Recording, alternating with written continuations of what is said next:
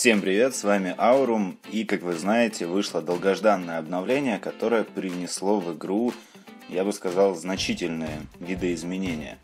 Итак, начнем с первого, наверное, самого важного обновления. Это в игре появилось новое защитное сооружение под названием Чистильщик. Вот, э, хотел сказать, вот так он выглядит. Выглядит он вот так. Мы его можем здесь увидеть. Пока я его, к сожалению, не построил.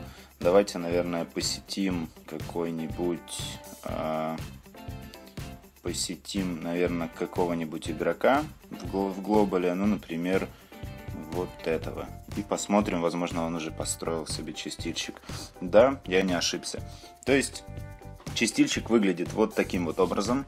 У него есть свой радиус атаки. Давайте посмотрим. Отбрасывает на 3-6 клеток. Чувак уже его апнул до 6 левела. И получается дальность 1-15 клеток, цели воздух. Чистильщик контролирует небеса мощными потоками воздуха, отбрасывая летающих противников. Чистильщики могут быть направлены только в одну сторону, так что повращайте их, чтобы найти лучшую позицию. Ну, в общем-то, друзья, это значит, что воздух наконец-то порезали. Для меня это не очень хорошая новость, так как я привык, уже, уже привык, уже научился играть гончими шарами. Думаю, теперь будет намного тяжелее ими играть. Ну а все криворукие придурки, которые так и не научились играть шарами, будут сейчас радоваться и злорадствовать. Вот, но, в общем-то, ладно, ничего страшного. это как бы ожидаемый такой вариант. Ну, что по поводу чистильщика, еще можно сказать, что его можно построить 6, 6 уровня ратуши, и всего он имеет, имеет 6 уровней прокачки. А дальше, ну, в общем, я не буду разглагольствовать, вы поняли. Для меня это плохая новость. Я не хотел, чтобы воздух резали вот сейчас. Сейчас мне это лично мне это невыгодно.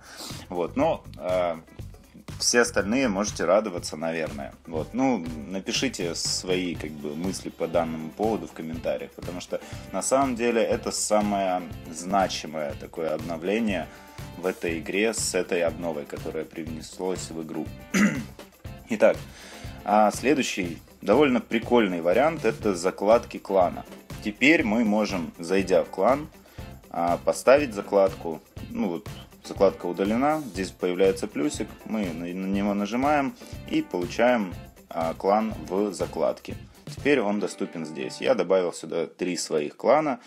Вот, и их можно, по-моему, до 30, если я не ошибаюсь. Да, до 30 кланов можно добавлять себе в профиль. А, еще момент. Мне кажется, что было бы круто добавить закладки не только кланов, а закладки игроков. И я более чем уверен, что в скором будущем это будет реализовано. Потому как эм, даже мне пишут постоянно в каком-то клане. Я постоянно перехожу с одного клана в другой, но в плане ролик снять, еще что-то. Я всем говорю, что я постоянно в Укрюнити, в принципе. Это мой основной домашний клан. Но В любом случае, некоторые люди по видео не понимают, потому что там бывает такое, что за неделю выходит, к примеру, 4 ролика, и в каждом из роликов я в разном клане. Поэтому было бы неплохо добавлять закладки человека и наблюдать за ним. Это на самом деле было бы удобно. Мне, мне писали бы меньше в личку по данному поводу, а в принципе вот э, недавно, если вы знаете, я снял ролик о игроке, который получил первым в игре тысячу звезд. Так вот, эм, если бы я не знал его клана, то мне бы было бы очень сложно смотреть, следить за ним около двух месяцев, пока он набирает эти свои звезды. Поэтому было бы очень удобно. Дальше. А, что касается предпросмотр армии для клановой войны. Эм, ребят, появилась такая функция, когда мы атакуем в КВ, то появляется такая фишечка, что когда мы идем в бой, мы не всегда знаем, наварили ли мы все зелья, да, а, взяли ли мы, полностью забили ли барак себе, а в клан Кесли у нас полностью или не полностью а, расположены войска. Именно теперь мы будем видеть что-то подобное, вот как здесь нарисовано. То есть мы Давайте я лучше прочитаю. Вам больше не придется атаковать без подготовки. Теперь вы можете просмотреть свою армию перед каждой атакой. Ознакомьтесь со своими войсками, войсками клана, заклинаниями и героями. Все, чего не хватает, будет отмечено красным.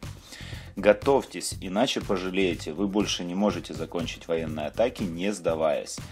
Вот, поэтому теперь в этом смысле будет, конечно, удобнее, хотя я не чувствовал никакого дискомфорта без этой функции. Посмотрим, как она работает. В ближайшее время мы все увидим на ближайшей клановой войне. Дальше, следующая обнова – это э, улучшение интерфейса.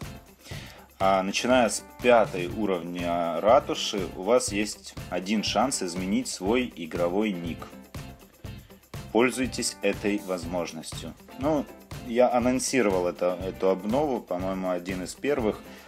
А, вот здесь нажимаем просто изменить имя, и вы можете поменять свой ник.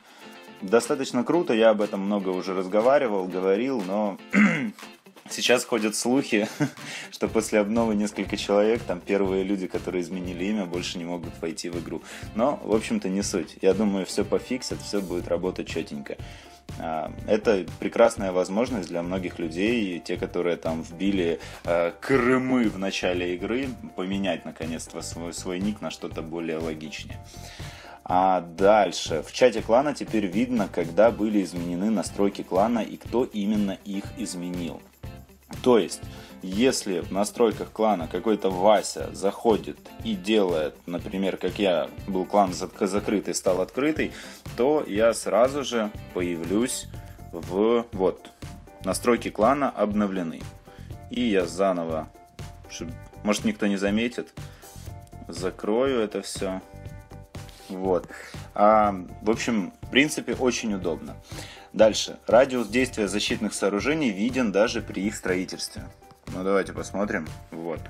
Чистильщик у нас еще строится, но мы видим красную полосочку. Красной полосочки, точнее радиус самого чистильщика. Можно их вращать, как я уже говорил, и направлять в нужную нам сторону.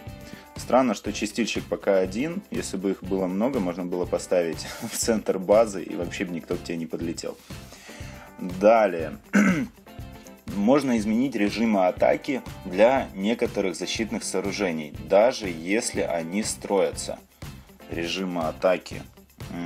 А, даже если они строятся, я понял. То есть для арбалетов, для инферно мы можем менять э, режим атаки, даже если они в процессе постройки. В настоящий момент все защитные сооружения смотрят в разные стороны от вашей ратуши, и только чистильщик смотрит туда, куда вы его направили. Ну, это только что я показал. Игровые улучшения. Атакующие войска больше не будут гоняться за защитными. Исправлены редкие случаи, когда войска находятся в радиусе защитных сооружений, но строения не наносят урона. Количество ресурсов на нижних уровнях карты в одиночной миссии будет увеличено, наряду с незначительными настройками сюрприза на ниж... так, не понял, количество ресурсов на нижних уровнях карты в одиночной миссии будет увеличено. Ёпт, ребята, я его прошел, не гоните. Вот это вы засранцы, я в шоке просто. Ну ладно. Как так-то, а? Я, блин, дайте мне вообще излишки. Я готов еще раз напасть за излишки. Давайте деньги. Ладно. А теперь, вот то, что самое интересное, вот смотрите, в новостях у меня этого нет вообще. То есть это доступно в новостях, в, я так понимаю, на андроидах или в плеймаркетах. А, мне ребята скинули в личку эти новости, но у меня их нет. Фарм действительно изменился, но у меня нет следующего изменения в подборе игроков. Теперь есть большая вероятность того, что вам будут попадаться только игроки с таким же уровнем ратуши, как и у вас. Давайте я буду клацать на подобрать соперника и будем смотреть. Ну, восьмой ТХ. А, например, игроки с ратушей 9 и 10 э, даже в бронзовой лиге будут чаще находить игроков с 8, 9 и 10 уровнями ратуши. Кстати, ребят, ой-ё, Блин, ну это круто вообще на самом деле. Это прикольно. Что я только что вообще вычудил, я в шоке просто. Ну не вычудил, а... Блин, вы видели, я третий раз на нажал. Зачем X-мод вообще? Какая вообще в нем, в нем теперь прикол? Вообще, наверное, никакого. Это же, блин, офигительно. Я такого фарма давненько не видел вообще-то. Блин, хотя все в складах. Ну, не суть, ладно. Чуть-чуть что-нибудь накашу. Блин, 5 лямов, я в шоке. Ладно, это очень круто. В общем, буду читать дальше. Это сделано для, для облегчения игры новичкам, ведь никто не любит, когда его полностью разбивают непропорционально сильной армией. Эти изменения не коснутся чемпионской лиги, блядь, у меня королева сдохла, пока я читал. А, это изменение не коснется чемпионской лиги, так э, что подбор игроков с низким уровнем ратуши в этой лиге останется неизменным. И те, кто знают, те, кто были в нулевой лиге, там принцип тот же – Поэтому я предполагаю, что разрабы сделали такой пилотный проект для нулевой лиги, он у них пошел, и они решили его распространить на всю игру. То есть, если у вас 8-9 уровень ратуши, значит вы будете видеть 8, 9, 10 домики везде, кроме чемпиона. В чемпионе только 10 ТХ, ну, э, либо же какие-то... Ну, в общем, на чемпион это не распространяется. Дальше. Будет обновлен подбор соперников в клановой войне. Я так и не заметил, сколько я пофармил вообще. Ну, по-нюбски пофармил, потому что луки, варвары, плюс еще вам тут все рассказываю. А, там, короче, по 100 тысяч и 500 нефти, такое себе дело. А также будет введена акция на удвоение опыта в клановых войнах. Теперь предпочтительнее подождать, пока найдется соперник в клановых войнах, ведь теперь будет более ровный подбор. Причем написано именно ровный. Ну, ребят, я очень сильно надеюсь, что будет именно ровный подбор, потому как сейчас в моем клане юзается м, тактика по отмене войны спустя 8-10 минут, если соперник не нашелся. Если сейчас можно будет включить и спустя полчаса найдется реально ровный соперник, как написано, не равный, а ровный, то я не против. Проблем ноль. Но, э, не знаю, ну давайте посмотрим. У, у нас и так был ровный соперник. Вот последняя КВ 132-97 несколько атак с этого КВ, попозже посмотрю. В общем, покажу точнее. В общем, с вами был Аурум. Надеюсь, эта информация была полезная для вас. Ставьте лайки, подписывайтесь на канал. Спасибо и удачки.